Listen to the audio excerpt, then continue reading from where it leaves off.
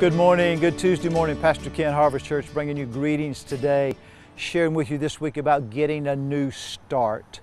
Since it's the eighth month, eight's the number of new beginnings, second day of August, let's see what we can do about getting a new start, a right start, a good start, starting over. Maybe there's some things in your life you need to start over, right? Need to do over.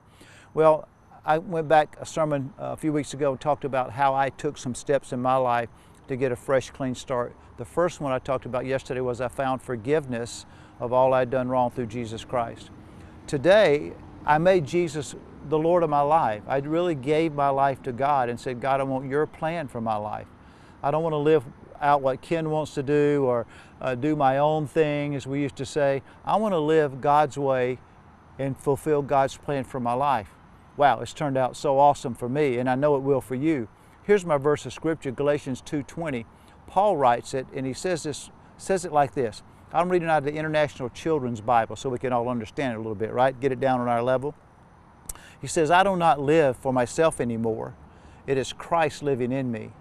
I still live in my body, but I live by faith in the Son of God. He loved me and gave Himself for me. You know, when I realized in my life there's a difference between just believing in God and just being saved and really giving my whole life to God, saying, God's here's my life, take my life, use me, fill me, use me, the old hymn, mold me, make me, fill me, use me. I said that to God, and He's taken my life, and I've done my best to live for Him, and He's rewarded my life. The next step I made after finding forgiveness was giving my life to God. Maybe this morning you need to give your life to God, your whole life to God. And I pray you'll do that today in Jesus' name. Amen.